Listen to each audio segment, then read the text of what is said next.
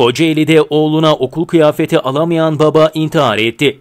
Körfez ilçesinde yaşayan 45 yaşındaki İğde, lise 1. sınıfa giden oğlunun okul kıyafetini alamadı. 14 yaşındaki MD ilk gün okul kıyafeti olmadan okula gitti. Okul kıyafeti olmadığı için okuldan geri gönderilen MD yoklama defterinde yok yazıldı. Eve gelen MD durumu ailesine anlattı. Baba İD duruma çok üzülerek ağlamaya başladı ve eşi HD'ye ben oğluma okul kıyafeti alamıyorsam niye yaşıyorum ki dedi.